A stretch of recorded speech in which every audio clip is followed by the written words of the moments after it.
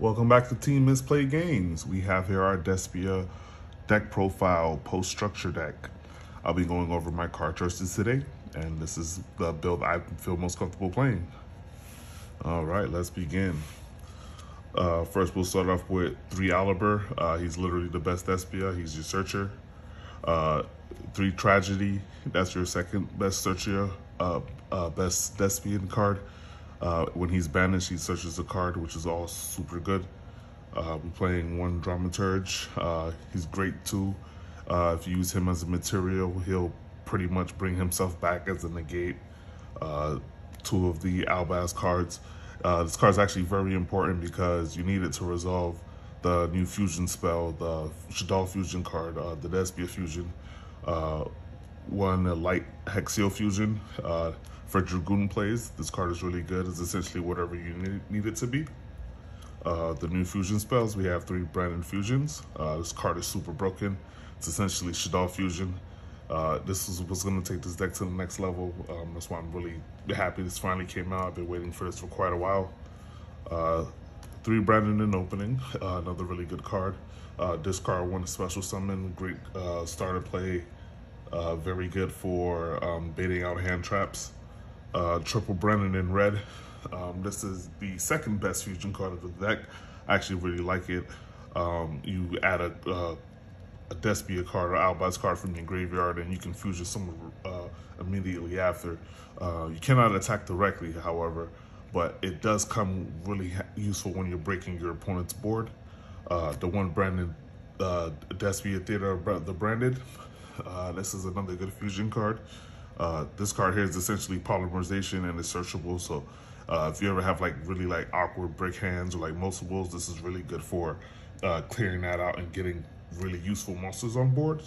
Um, of course, I'm playing the one Call by the Grave, you know, help stop hand traps for that Branded Fusion. Uh, triple cross out. Uh, this deck is going to be super meta. Uh, you're going to be seeing this everywhere. So this card is going to be very good, especially when it comes to the mirror matches. Uh, triple Super Poly, I don't need to say anything. It's Super Poly. We all know how broken this card is. Uh, the Destiny Hero package, the two Fusion Destinies. Of course, you know, I got to get the OTs. Uh, and the two common uh, heroes. Uh, they're common because I don't want to see them. so that's the reason I got them in common. I'll see them less. Uh, triple Ash, one of the best hand traps of all time. Uh, triple Ogre and Triple Imperm. You know, that's how I feel most comfortable. This is actually a perfect 40 card deck. Uh, we'll go over to our extra deck. Uh, for our extra deck, I am playing one of the new Lubellion. Um, this card is really good. Uh, you discard one and it allows you to fusion summon using the materials from your hand, Field the Grave. Uh, we also playing the one Alubillion the Branded Dragons. Um, it's essentially the first version of this card. It does the same thing, except you don't have to discard to do the fusion summon, which is really good. Both these cards are really good targets for the new Branded Fusion spell. Uh, we're playing one of the new Ice Jade Dragon card. This card is really good when it comes to um, breaking boards. It has a negate, and if it um, gets into the grave, it floats. Uh, we're playing the one Glory Dragon, the one Titaniklad. You know, good um, Despia targets. They're really good with um, Super Poly, or if you ever hard draw the Albaz, you can just go ahead and, you know, trigger off the board to help break boards. Um, something about this deck I found out is actually really good going second. It could go first too, but it's actually much better going second. Um, we have the Despian Quaeritis. Um, this here is a really good Despia target, really good for uh, for defensive plays uh, keeping your fusions alive because it has a quick effect where it makes all the monsters that are not fusion, level 8 fusions, uh, make all their attack zero, which is really good.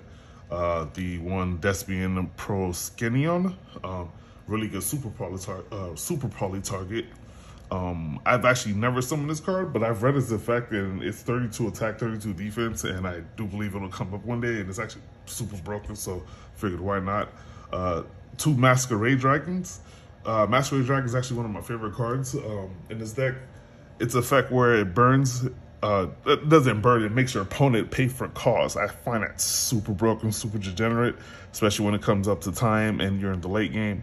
Or if you're able to put up a really good board with some, um, with a negate, it makes your uh, opponent have to play very careful because life points will start adding up really quickly, especially if you get two of them on board. And getting two on board is actually really possible with the new fusion spell and the branded in red.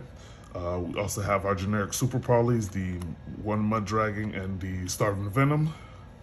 Uh, two Guardian Chimeras. Um, Guardian Chimera, we all know how broken this card is, especially in this deck.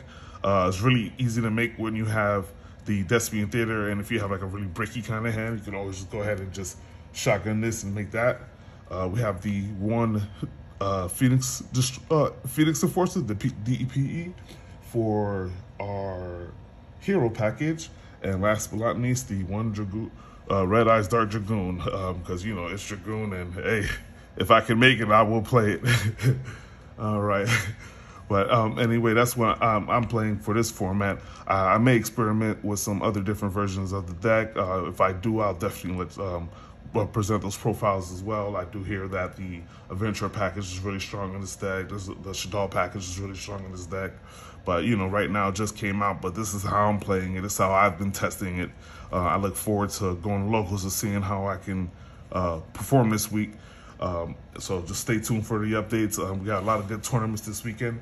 Uh, once we get that um, up and running, I'll be more than happy to bring you the results.